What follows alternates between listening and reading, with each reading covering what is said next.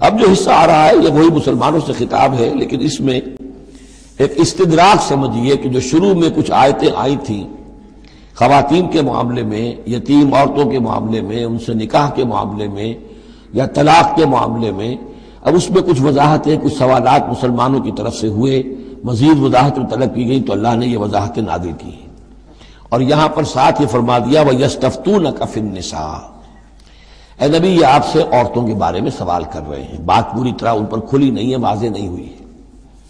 قل اللہ یفتی کن فی ٹھیک ہے، کہہ دیجیے اے نبی ان سے، اللہ تمہیں فتویٰ دیتا ہے، بتاتا ہے، وضاحت کرتا ہے ان کے بارے میں۔ وما یطلع علیکم فی الکتاب من یتام النساء۔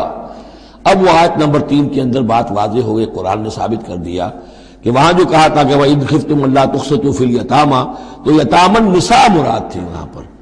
کہ اگر تمہیں اندیشہ یہ ہو کہ یتیم لڑکیوں سے شادی کرو گے تو ان کے ساتھ انصاف نہیں کر سکو گے، اس لیے کہ ان کی طرف سے یہ ہے نہیں جو ان کے حقوق کا پاسدار ہو اور تم سے کوئی بات پوچھ کر سکے ان کی طرف سے، تو پھر ان سے شادی مت کرو، بلکہ تم اور جو عورتیں ہیں، شادی اگر کرنی ہے ایک سے زائد، تو با تاب الکم من النساء مسنا و ثلاث و شادی کرو۔ تو یہاں فرمایا وہ تھا عورتوں کی یتیم عورتوں کے بارے میں وہ حکم تھا۔ ما یتلا علیکم، جو تمہیں سنایا گیا جو سنایا جا رہا ہے کتاب میں، فی یتام النساء، ان عورتوں کے بارے میں کہ جو یتیم ہیں، وہ عورتیں یا یا لڑکیاں، لا تو تو نہ ما کتب لہن، تم دیتے نہیں ہو انہوں جو اللہ نے ان کے لیے لکھ دیا ہے۔ بغیر مہر کے یتیم بچی تھی، آپ نے شادی کر لی۔ کون اس کی طرف سے مہر طلب کرے گا؟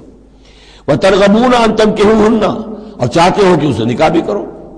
والمستضعفین من البلدان اسی طرح بچے جو ہیں، ان کے ساتھ بھی جو ظلم ہوتا ہے۔ وان تقوم للیتامى بالقسط اور وہ جو ہم نے تمہیں اتنی تفصیل سے احکام دیے ہیں کہ یتیموں کے معاملے میں انصاف پر کار بند رہو۔ وما تفعلوا من خیر فان اللہ کان به علیما اور جو خیر بھی تم کرو گے اللہ اس سے واقف ہے، تمہاری نیتوں کو جانتا ہے۔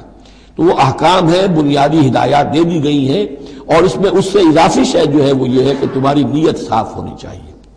واللہ یعلم المفسد من المصلح۔ اللہ جانتا ہے کہ کون حقیقت میں شرارتی ہے اور کون جو ہے اس کی نیت صحیح ہے۔